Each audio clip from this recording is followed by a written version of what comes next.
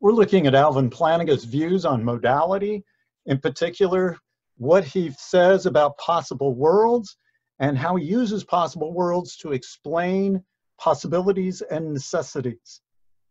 So in the defense of the de re de dicto distinction that Plantinga makes, first of all, there are the arguments of Quine against this distinction, but Plantinga addresses another argument by Kneale, who concludes that there is no such thing as de re modality, that it doesn't make sense. So first of all, we assume that 11 is necessarily prime. Clearly it's prime. And if anything had a property necessarily, it seems like this would be an example, 11 being necessarily prime. Now, consider Paul's favorite number, and let's just say that's not necessarily prime. I mean, Paul's favorite number could have been 12, it could have been 13, he also, but it, you know, it didn't have to be prime number, but let's do say that Paul's favorite number is in fact 11. Now, the problem here is from one, when we have Paul's favorite number being 11, now we're saying that that's not necessarily prime, but of course we are assuming that 11 is necessarily prime. And so we have that contradiction. And so being necessarily prime is not really a property after all. This whole idea of necessity and modality doesn't make sense according to Kneale. Well, how does Plantinga respond to Kneale? First of all, he says, look, there's an equivocation. One, that claim that Paul's favorite number is not necessarily prime, that's taken de dicto. That's taken about the sentence. That's when you're imagining it's possible that Paul could have had a different favorite number. Uh, but the assumption that 11 is necessarily prime, that is taken de re. So if there were consistency in the way that the necessity is used, then the argument fails. I mean, we have one case of de re and one case of de dicto. Those are not the same. So premise one taken de re is false. So this is not a successful argument because it equivocates on being necessarily prime. In addition, that de re de dicto distinction has a long and strong philosophical history that goes way back to at least Aristotle. Aristotle made this distinction when he was responding to concerns about the sea battle in De Interpretatione. It was used by Augustine and Aquinas and G.E. Moore. There are others who have used this de re de dicto distinction with reasonable success and so we have reason to go ahead and think that these things exist. So how do we extrapolate? How do we explain de re and de dicto modality? How do we provide a framework for doing logic? We use possible worlds. Now for Plantinga, possible worlds are maximal states of affairs.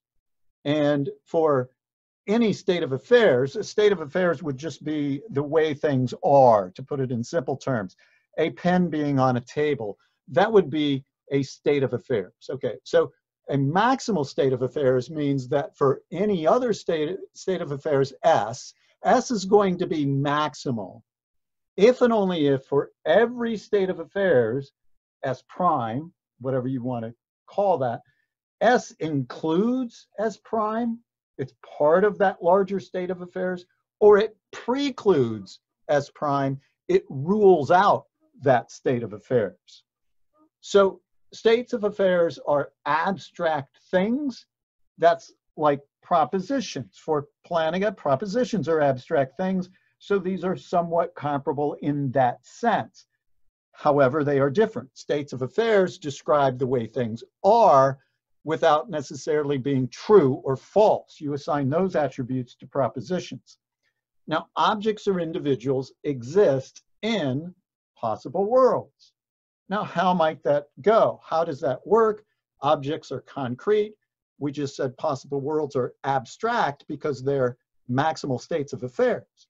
Well, an object X exists in W, a, a possible world we'll call W, if and only if if W had been actual X would have existed. So that's what we mean when we say that the object X exists in a possible world. We mean that if that possible world had obtained, if it had been actual, then X would exist. So just to clarify, to say that X exists in W is not to say that X exists, period, right? Instead, to say that X exists in W is to say that X would have existed had W been actual. Or it's impossible for W to be actual and X fail to exist. So there's this distinction between X exists and X exists in W. These are two different things. All right, we need to cover a little bit more ground with our terminology here. I've mentioned state of affairs obtaining, right?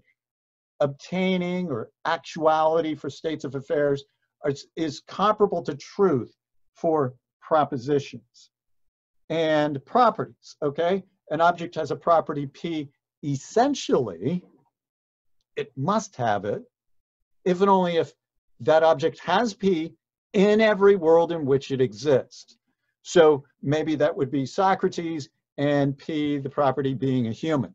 So Socrates would be a human in every world in which Socrates exists.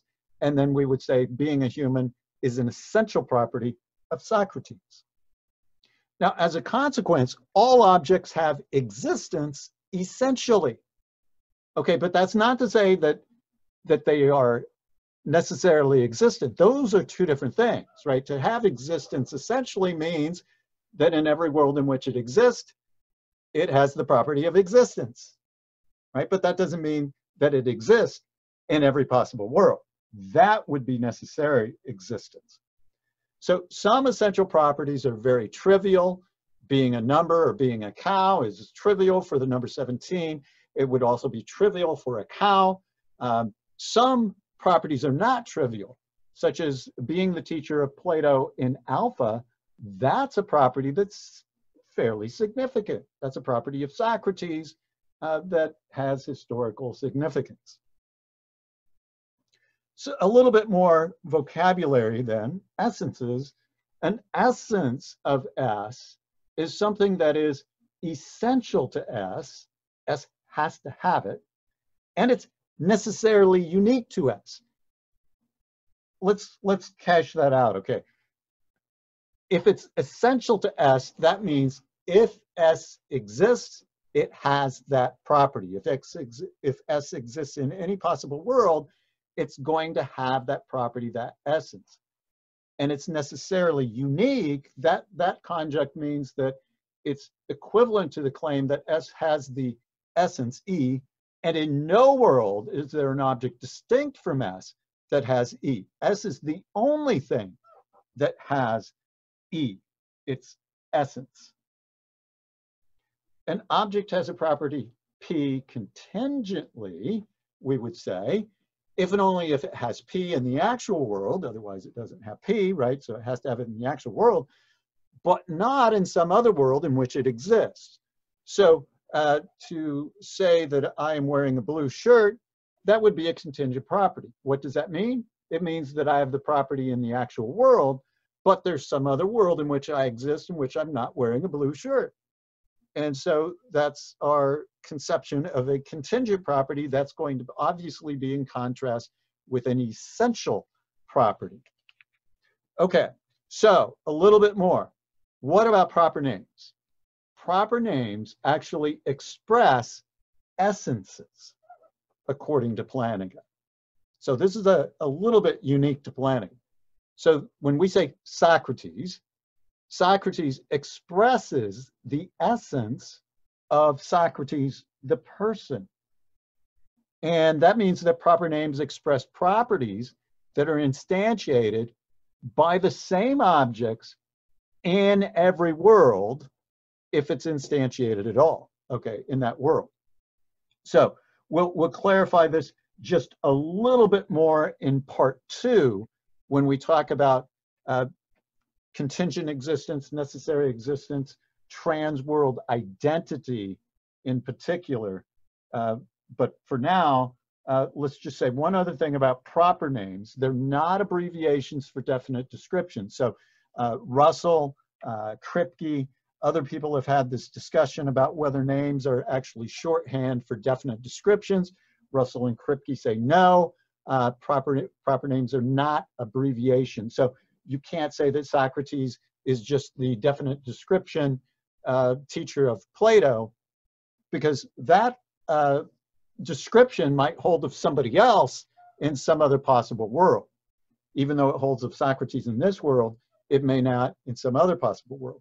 So for Plantinga, when we talk, when we use proper names, and we could name anything, by the way, we could name objects, we could name a pen, we, we could name other things, we could name elements and so on. Those proper names express essences of what we're talking about. Okay.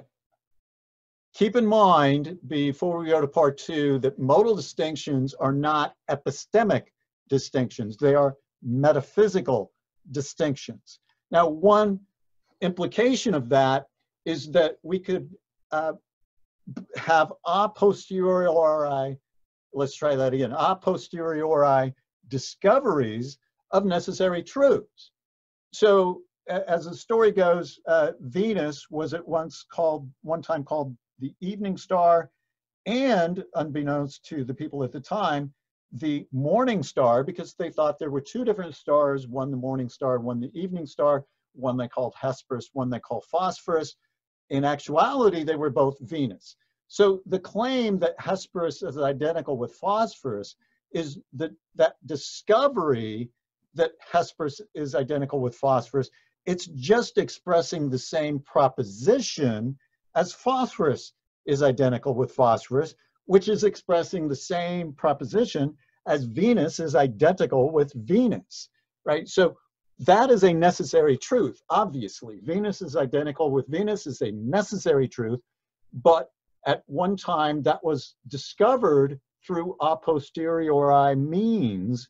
And so even though it's typical that a priori truths match with necessary truths, that doesn't always has to have to be the case. And of course not.